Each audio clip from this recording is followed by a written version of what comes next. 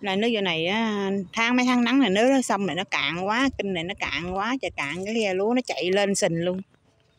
Không có làm gì được chứ. trơn. Làm nghề ăn cá như tụi em là mùa này là coi như là thất nghiệp luôn. Một con hai con rồi phải không? Ba con rồi phải không anh? Ê ê ê ê ê kìa kìa kìa trắng Ú, dữ rồi dữ rồi. Ôi! Nó vậy là có lý anh ơi. Ê có cá bự kìa anh. Anh để cái cái chài đây anh múc nước đi để lên trên kia nó cuốn nhớt cá chứ. Ố coi nè ừ, vậy là vô mánh. Lâu lâu không đi chài. Anh để lên sình đó nó cuốn nhớt con cá trơn không nhớ, không đem đồ nghề theo là cả nhà.